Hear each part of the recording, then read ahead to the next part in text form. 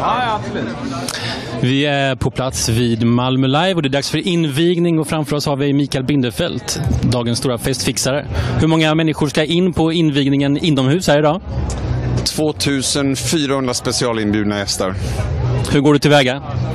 Eh, lång, många års erfarenhet, mycket logistik, övning, träning och så har vi väl liksom gått igenom de här i kanske ett och ett halvt år och repetera själva införsel, införfarandet med att få in alla människor.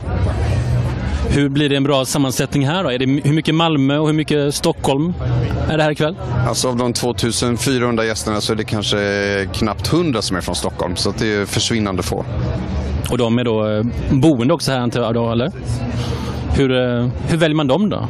Vilka är det som, jag, jag har sett en liten del av gästlistan. Vi ser, eh, vad har vi för folk? Vi har eh, Anna Odell exempelvis såg jag på gästlistan. Eh, precis som när man gör egna kalas så är det liksom eh, spretigheten som gör liksom dynamiken i en, i en gästlista. Om du har en middag för 10 personer eller 2400 så är ungefär tänket detsamma. Att man inte bjuder samma typer av människor utan man försöker bjuda, bjuda människor som eh, är varandras motsatsförhållanden.